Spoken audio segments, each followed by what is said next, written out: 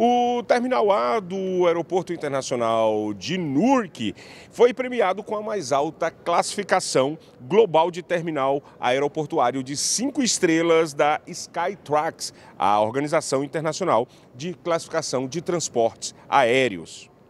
A Autoridade Portuária de Nova York, New Jersey, e o Aeroporto de Munique, New Jersey, LLC, o operador do novo Terminal A do Aeroporto Internacional Newark Liberty, anunciaram que o Terminal A recebeu uma prestigiada classificação de cinco estrelas da Skytrax, a empresa de classificação de risco proeminente da indústria da aviação.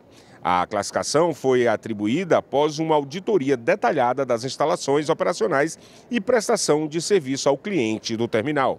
A cobiçada classificação confirma a excelente qualidade de classe mundial do Terminal A do aeroporto de Newark.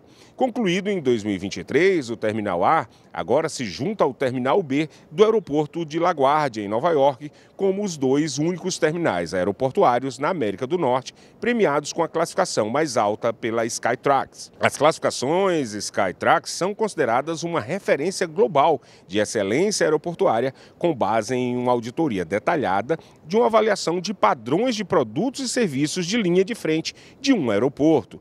O, o terminal A, de um milhão de metros quadrados, foi inaugurado em fases ao longo de 2023, à medida que as operações aeroportuárias migraram do antigo terminal A de 50 anos. O terminal serviu 15 milhões de passageiros em seu primeiro ano, superando em muito o total anual de passageiros do terminal A anterior.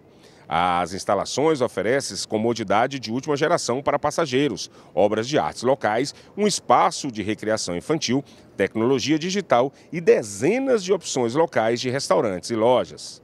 O Aeroporto Internacional de Newark está sendo apenas um dos 22 aeroportos e terminais em todo o mundo a ter dos três únicos da América do Norte a alcançar a mais alta classificação de cinco estrelas. Isso é um orgulho para as pessoas que lutam para ter um atendimento em um sítio que geralmente é muito estressante, principalmente em feriados prolongados, onde as pessoas formam imensas filas para ser atendida. Então, NURC, com esse novo terminal, o Terminal A, recebe essa premiação, sendo apenas três em toda a América do Norte. Amadeu Maia com imagens de Márcio Santos, do Aeroporto Internacional de Newark, para a SPT Television.